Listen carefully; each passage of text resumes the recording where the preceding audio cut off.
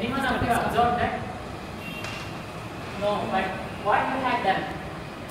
We have vast number of plants in this environment, but no one will observe what they are and how they are. Then have you noticed whether the plants were where they live are similar to those growing near you?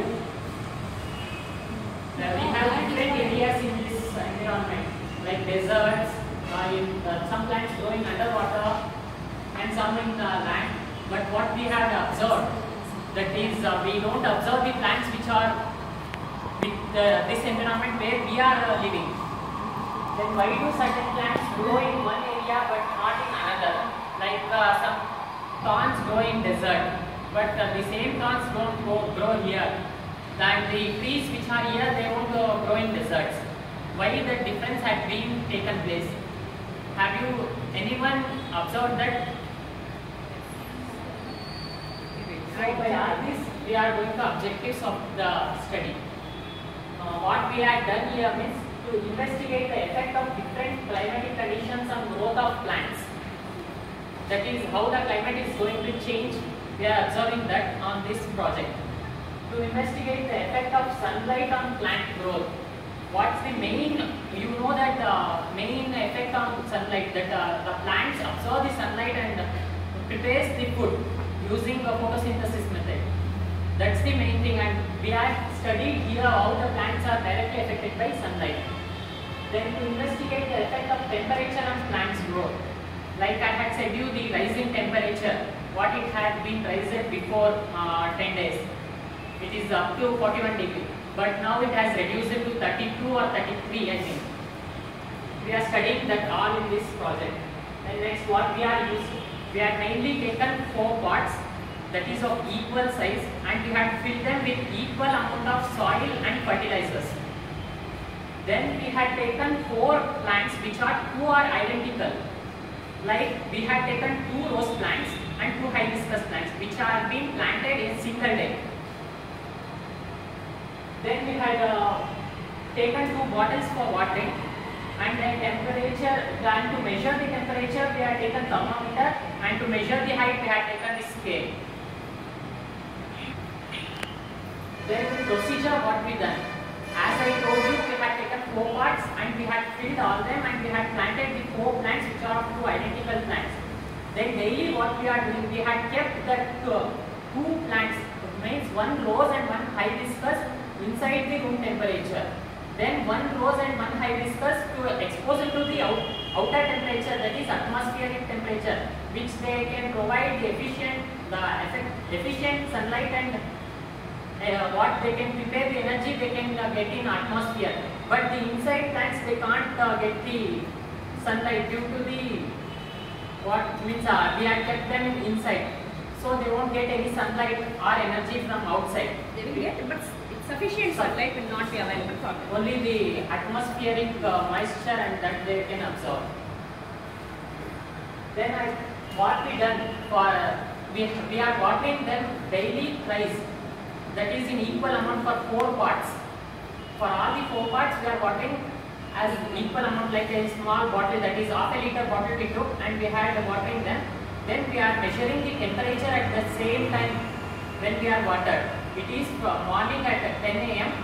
Then afternoon at 1.30 or 2. In that time we are measuring. Then in evening 5 to 5.30 we are measuring the temperature and the height. We haven't measured the height daily because the, uh, we don't expect that much growth on them. But weekly we are uh, measuring the heights. Then these are the readings what we had measured from first day to last day. You can see that 30th we had measured at 10 am the height is 33 centimeter and of hibiscus which is inside.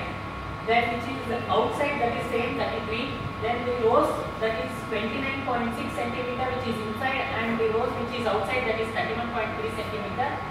Then the temperature that is room temperature, inside temperature that is 32 degree centigrade, then atmospheric temperature that is also same 32 degree centigrade. Then the rose soil temperature, when we watered them, we are measured that soil temperature that is first uh, inside that is 29 degree centigrade for rose. Then for hibiscus that is 30 degree centigrade and the atmospheric plant soil temperature is for rose 31.5 degree centigrade and for hibiscus 31 point 31 degree centigrade. Like that, that the same day what the changes you can see that is here 32, here 30, then 30, then here it has been changed. The changes which we had uh, taken, we had been measured here and we and finally we had been calculated by all this and we had came to some conclusion. I will tell you in next slides. Uh, you can see the heavy days what it has happened and uh, if any rain comes we had been taken that as con- consideration and had taken the time at what time the rain comes and uh, plants which are outside only affected by the rain which are inside they won't get the sunlight or rain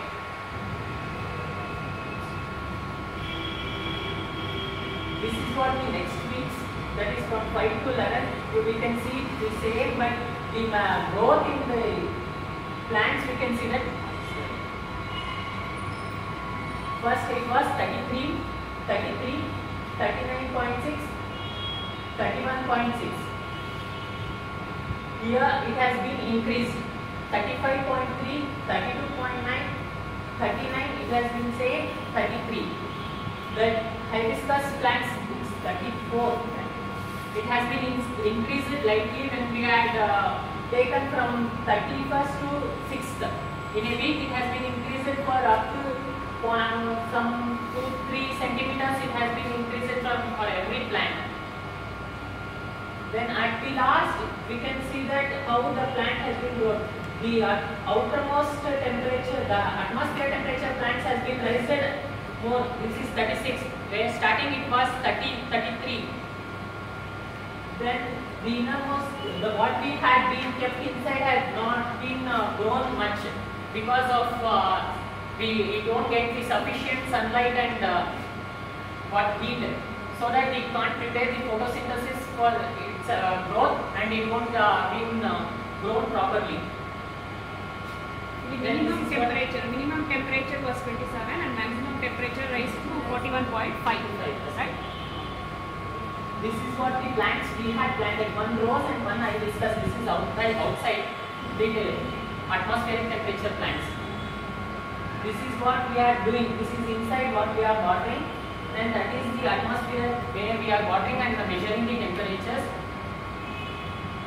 This is what the gradual changes took inside the inside plant inside plants. That is what we are uh, kept in the room temperature plants. First it was starting, it was greenery, no effect was uh, done. Then after that the leaves of this hibiscus and rose turned into pale yellow.